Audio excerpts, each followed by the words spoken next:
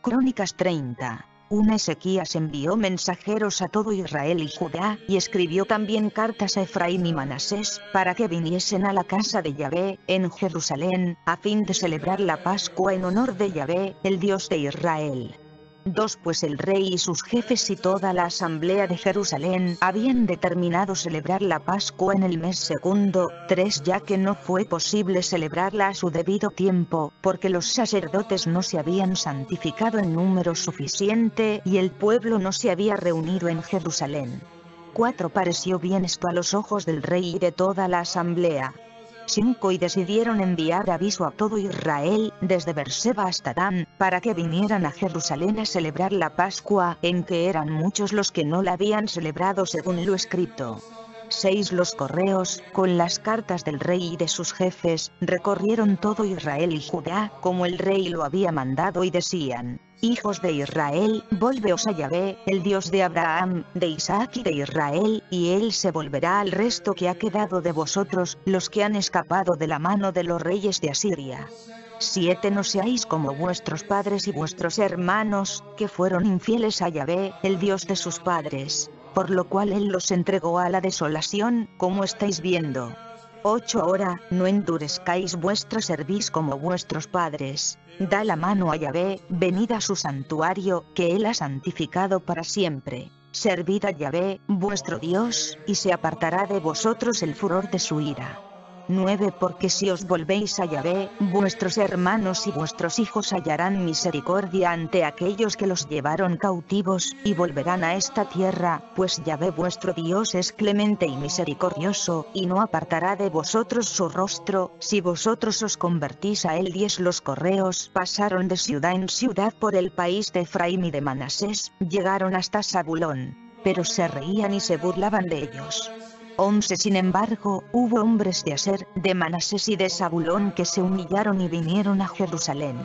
12 También en Judá se dejó sentir la mano de Dios, que les dio corazón unánime para cumplir el mandamiento del rey y de los jefes, según la palabra de Yahvé. 13 Se reunió en Jerusalén mucha gente para celebrar la fiesta de los ácimos en el mes segundo. Era una asamblea muy grande. 14 Y se levantaron y quitaron los altares que había en Jerusalén. Quitaron también todos los altares de incienso y los arrojaron al corriente Cedrón. 15 Inmolaron la Pascua al día 14 del mes segundo. También los sacerdotes y los levitas, llenos de confusión, se santificaron y trajeron holocaustos a la casa de Yahvé. 16 Ocuparon sus puestos según su reglamento, conforme a la ley de Moisés, hombre de Dios y los sacerdotes rociaban con la sangre que recibían de mano de los levitas. 17 Y como muchos de la asamblea no se habían santificado, los levitas fueron encargados de inmolar los corderos pascuales para todos los que no se hallaban puros, a fin de santificarlos para Yahvé. 18 Pues una gran parte del pueblo, muchos de Efraín, de Manasés, de Isaacar y de Zabulón, no se habían purificado, y con todo comieron la Pascua sin observar lo escrito. Pero Ezequías oró por ellos diciendo, que Yahvé, que es bueno, perdone a todos aquellos 19 cuyo corazón está dispuesto a buscar al Dios Yahvé, el Dios de sus padres, aunque no tengan la pureza requerida para las cosas sagradas. 20 Y oyó Yahvé a Ezequías y dejó salvo al pueblo. 21 Los israelitas que estaban en Jerusalén celebraron la fiesta de los ácimos por siete días con gran alegría mientras los levitas y los sacerdotes alababan a Yahvé todos los días con todas sus fuerzas. 22 Ezequías habló al corazón de todos los levitas que tenían perfecto conocimiento de Yahvé.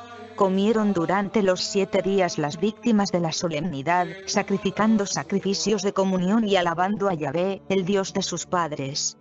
23 Toda la asamblea resolvió celebrar la solemnidad por otros siete días, y la celebraron con júbilo siete días más.